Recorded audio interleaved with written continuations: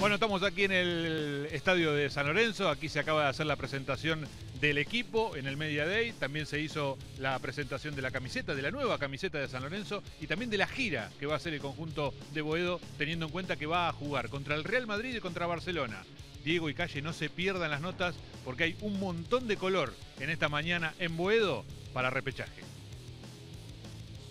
Sí, la idea es meter la menor mano posible y que esto se siga desarrollando de la misma manera. La verdad que, bueno, este es un equipo mucho más largo, también que va a asumir eh, torneo internacional también, pero sí, es un equipo bastante más largo y que tuvimos una pretemporada poco, eh, no, no tan típica, lo hablaba con Gaby Picato, que en regatas pasó un poco lo mismo, terminó bastante tarde el calendario para San Lorenzo y para regatas, así que bueno, esta gira que vamos a hacer Europa, tratar de acoplar todo para empezar la liga de buena manera. Una, nueva temporada. Primero agradecerles a, toda la gente de DirecTV eh, Sport por el apoyo, por estar, por estar junto a nosotros. Eh, es una temporada muy exigente esta, esta que, arranca ahora.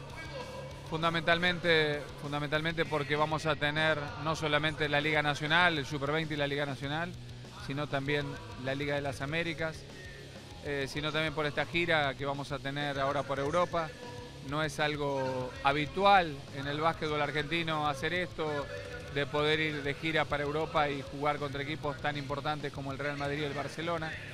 Eh, y así como nosotros fuimos los primeros el año pasado en haber jugado contra un equipo de la NBA, contra el Toronto Raptors, me parece que está bueno después de 46 años volver otra vez y jugar en Europa esta vez contra dos grandes potencias como son el Real Madrid y el Barcelona. Lo sigue posicionando a San Lorenzo como marca no solamente nacional, sino también internacional. Sí, muchas cosas que nosotros creemos que lo que hacen es consolidar este proceso de, crecimiento y, darle sustento a esto que venimos diciendo de que cuando arrancamos que dijimos que San Lorenzo llegó al básquet para quedarse. Yo creo que es un plan de, crecimiento que tiene que ver con todos los deportes federados, por supuesto que encabezado por el básquet, el básquet liderando por ahí como, como segundo deporte del club después del fútbol, pero que también eh, lleva, eh, trae consigo también el crecimiento de otras actividades, del futsal, del fútbol femenino. Este fin de semana tuvimos premios también en el Mundial de Patín. Por supuesto que el básquet por ahí es, lo más visible y es el emblema y es lo que más nos entusiasma a nosotros por ahí después del fútbol, pero, pero creo que, es un plan integral que está pensado estratégicamente para crecer en todos los deportes y la verdad que se nos viene dando muy bien. Sí, tenemos lindos desafíos. Eh, ojalá que sigamos con los éxitos, que eso es muy bueno para el equipo y para el club.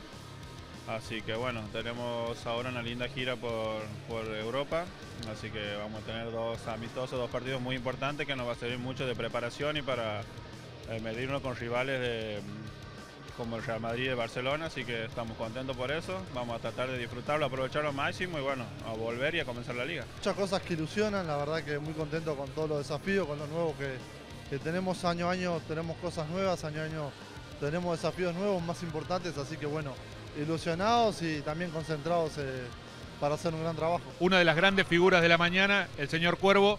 Estamos con Diego Corol. Amigo.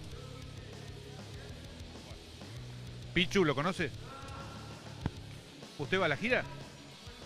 Ah, no lo, no lo llevaron a la gira. Bueno, no importa, no importa. Lo esperamos entonces en la Liga de las Américas. ¿eh?